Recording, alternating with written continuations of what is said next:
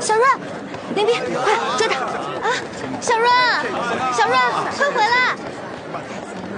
哎，姑娘，来看看我们的发簪，还有这个手镯、项链都有啊。我们的金银首饰都很不错，给您看一下，姑娘。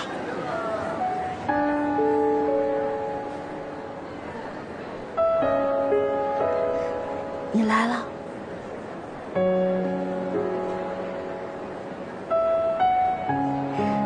沈燕，我很想你。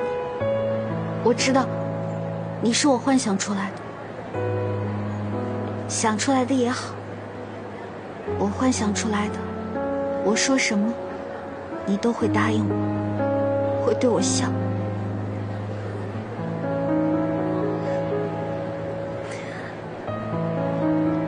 你给我买这个镯子，我就跟你私奔，好吗？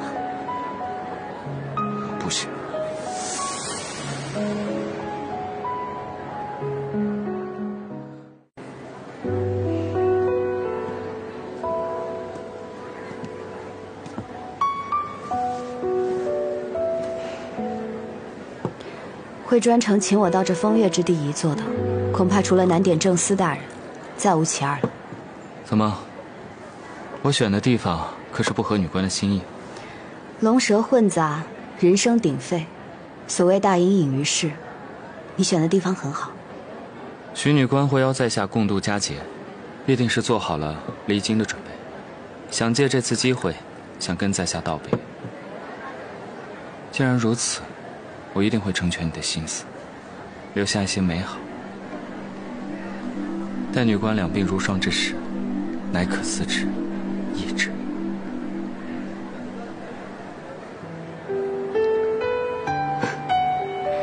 你既挑明了此事，我这心里也落得轻松。待阿玲的事情一了，我也便会离开叶京。徐女官这是想要沈某同行？我没这个意思，只是觉得该和你说一声罢了。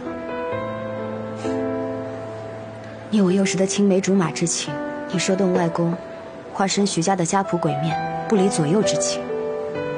沈小月，单一个谢字是远远不够的。